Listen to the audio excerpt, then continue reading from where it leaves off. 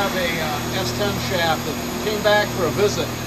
Um, this is my customer Dan, and I think there's been that I know that there's been a transmission swap to a 700R from a Turbo 350 or some such. It's, some changes have been made, and it's a hot rod S10 that he's got. And so that slip yoke was transplanted in into the situation, into the front transmission, at the transmission end, from that one over there on the floor. And uh, that was 1310 series instead of Mechanics 3R where it was previously.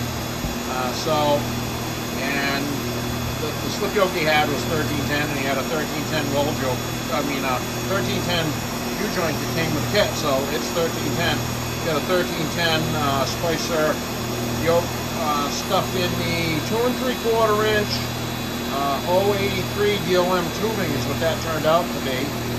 Um, I had done something on this previously to adapt it to this truck and that's my stickers spinning and it says video 224 so anybody that's interested to go back and look at video 224 and see what we're up to then.